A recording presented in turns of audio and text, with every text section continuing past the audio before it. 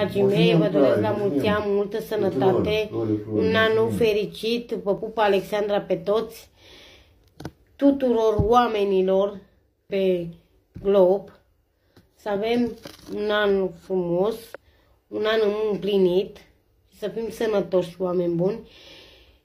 Și cu bucurii în sufletele noastre și vouă oameni frumoși. Vă pup Alexandra.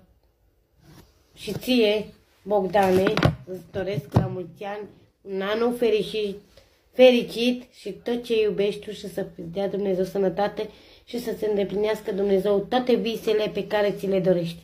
Te pup, Alexandra. Iubica mea, mm. eu zic la mulți ani. Mulțumesc, viața mea.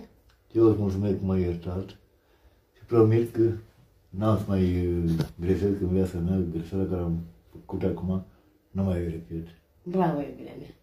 Hai să vă arăt ce mâncare am făcut noi de Revelion cu mai puțin de 100 de lei și poate faceți și voi dacă nu cumva ați făcut deja. Avem bineînțeles și niște pui, am luat doi pui uh, congelați și am pus în cuptor.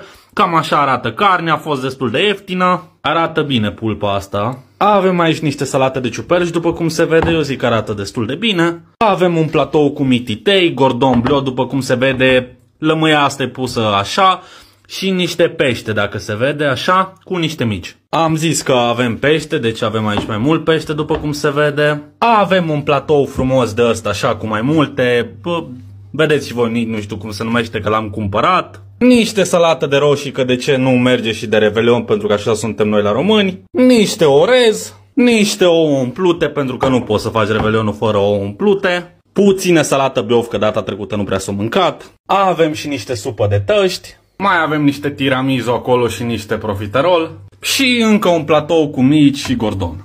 Și aici câteva gustări, să zicem. Cam asta poți cumpăra cu vreo 100 de lei ca să faci mâncare de revelion.